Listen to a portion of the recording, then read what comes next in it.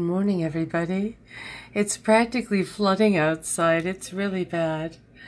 And, you know, I've been going through a lot of old um, Seattle pictures. I found some of my uncle, the one who, um, it's weird. He was the person at Boeing who worked with them who really he believed was DB Cooper. It was very interesting.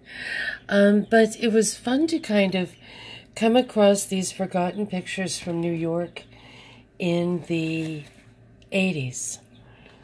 I think this is like around 1985. Um, and I used to just love to walk around and take, take photographs. I had worked mainly at night on Wall Street and sometimes in Midtown.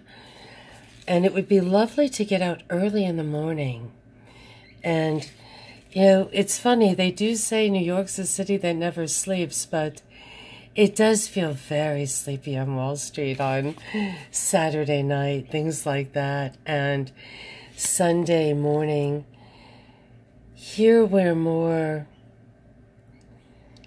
at the plaza, right in, in the middle of Midtown. Looks like there's some sort of wedding occurring.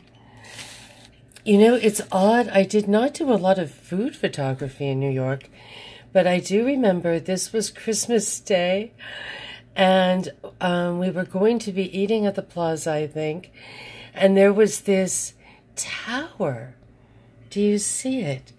There was a tower made of lobsters or crawfish or something. And I just had to take a photograph of it because it was so grotesque that um, we actually ran out. Sorry, I've got a cold.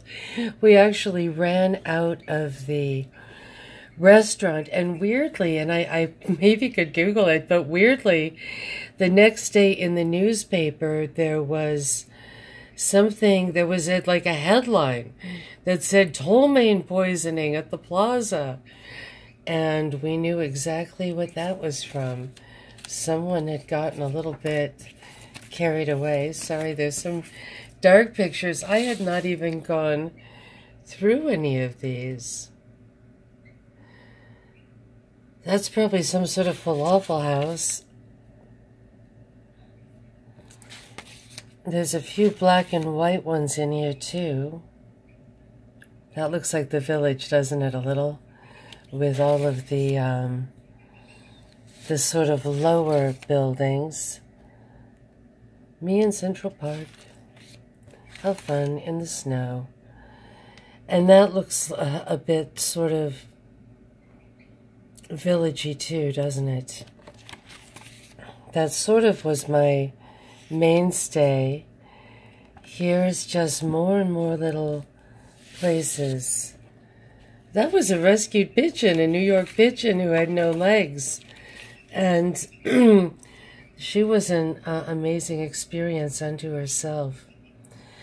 But yes, my uncle, it was funny, I'd been watching some D.B. Cooper movies, and they all kept mentioning D.B. Cooper was, um, D.B. Cooper had put on dark makeup, and my uncle had said, no, he didn't put on dark makeup.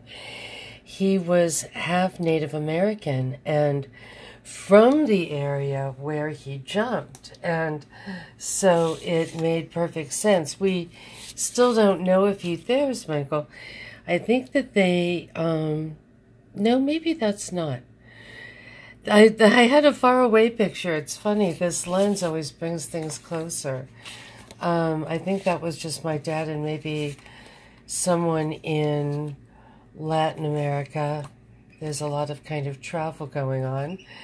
Some of these are just little duplicates, but it is interesting to sort of look back to a rather pristine little time. Except I do feel sorry for those horses. Anyway, everyone, have a great day.